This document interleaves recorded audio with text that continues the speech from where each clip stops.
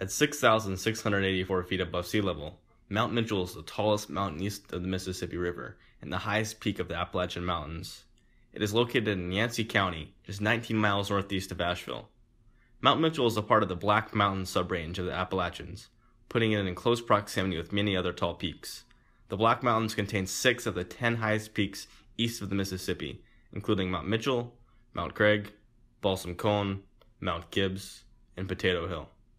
The peak of Mount Mitchell has a very humid continental climate with mild summers and long, moderately cold winters. There are high levels of precipitation throughout the year, with the mountain getting between 5 to 7 inches per month on average. Considering the moderately cold winters and frequent precipitation, heavy snows commonly fall in the winter months, and flurries are possible in the summer. The summit of Mount Mitchell is also very windy. Dense groupings of red spruce and Fraser fir trees top the mountain, though the forest has suffered notable damage. Because of its impact on high altitude areas, acid rain has been a concern for Mount Mitchell's ecosystem in the past, but preventative measures have made it less of an issue in recent years. Now, the biggest threats the trees face are severe weather and an invasive species of small wingless insects called balsam woolly adelgid. Mount Mitchell was originally explored by the many Native American tribes that inhabited the area, most notably the Cherokee.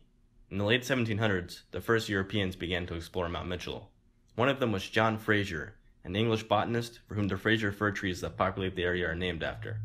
Mount Mitchell itself is named after Elisha Mitchell, a professor who taught at the University of North Carolina at Chapel Hill, and who is most well known for being the first person to identify Mount Mitchell as the highest peak east of the Mississippi. Mitchell made several trips out to the Black Mountain Range throughout the 1820s, 30s, and 40s, traveling via a one horse wagon from Chapel Hill. The tough terrain of the mountain with its steep sides and dense vegetation made it impossible for horses to take Mitchell up, so he had to do it himself, following animal trails and carrying all of his equipment along with them. By 1835, Mitchell had figured out a way to estimate the height of the peak of the mountain using mercurial barometers, which consist of a glass tube filled with pure mercury. The tube is heated and placed upside down in a small cup of mercury. The height of the column of mercury that stays in the tube and doesn't seep down into the cup is then used to determine atmospheric pressure. Establishing a base station at Morganton, Mitchell had an associate take barometric readings there at the same time as he took readings atop the summit of Mount Mitchell. Later, he would utilize mathematical formulas and the barometric data recorded to calculate the mountain's height to be 6,476 feet, which was about 500 feet taller than Grandfather Mountain, the mountain then thought to be the tallest in the state. Mitchell would revisit Mount Mitchell again in 1838 and 1844, adjusting his estimate of the mountain's height to be 6,672 feet, just 12 feet shorter than the mountain's actual height. At first, Mitchell's measurements weren't entirely accepted. After much debate with a state senator and former student of Mitchell's, he returned to the Black Mountains in 1857.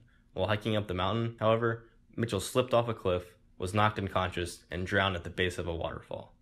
More than 20 years after Mitchell's death, the U.S. Geological Survey confirmed his measurements and named the mountain in his honor. Mitchell's tomb was placed on the peak of the mountain.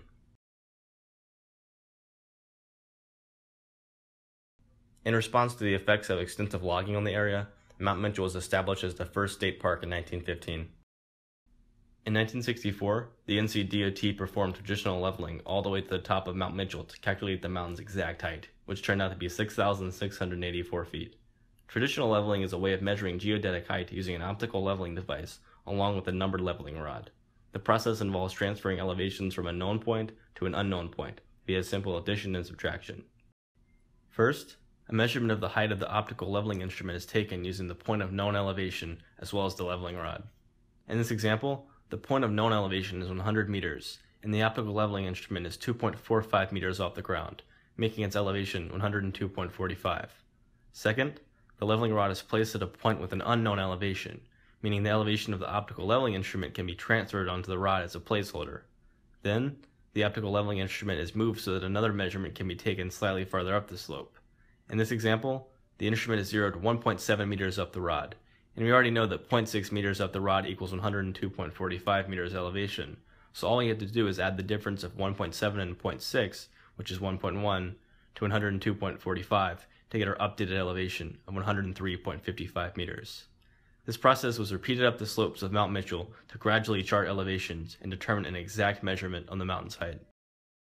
In 2009, the North Carolina Geodetic Survey collected GNSS, or Global Navigation Satellite System data, on the commemorative disk in the most recent observation platform on the mountain's peak.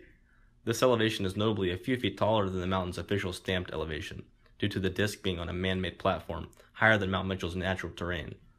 Post-processing the position of the disk using OPUS, or Online Positioning User Service, an elevation of 2,039.813 meters was returned, which translates to a little over 6,692 feet.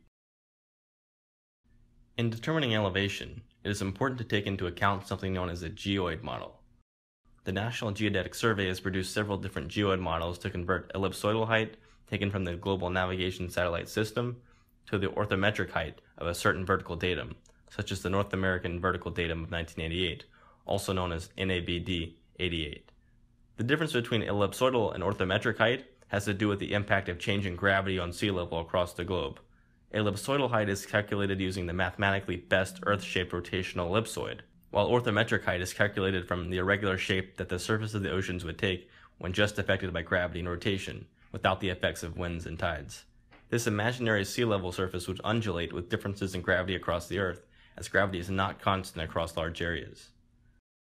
When the location of the commemorative disk atop Mount Mitchell is post-processed with OPUS, the software provides both the ellipsoidal height as well as the orthometric height, which automatically computes with the best fitting geoid model.